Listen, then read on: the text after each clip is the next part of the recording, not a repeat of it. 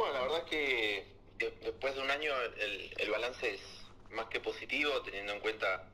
los porcentajes que tiene la provincia e incluso comparativamente con, la media nacional, estamos casi 8 puntos, 9 puntos arriba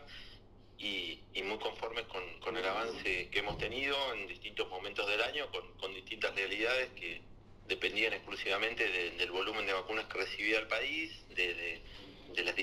distintas tecnologías que se usaban, la infraestructura que había que utilizar, la distribución con, vacunas con temperaturas que no eran las habituales que nosotros veníamos trabajando.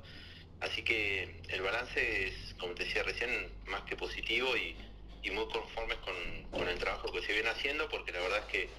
eh, han, sido 365 días ininterrumpidos de vacunación, bueno, no hemos dejado de vacunar ningún, ni un solo día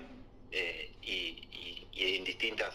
en distintos lugares y, en distintas, eh, y con distintas estrategias,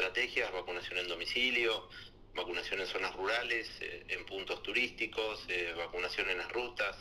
en las residencias de larga estadía para los adultos mayores, en, instituciones privadas de, con internación, en unidades de detención. O sea, hemos ido a vacunar donde cada persona de la provincia necesitaba recibir la vacuna y hemos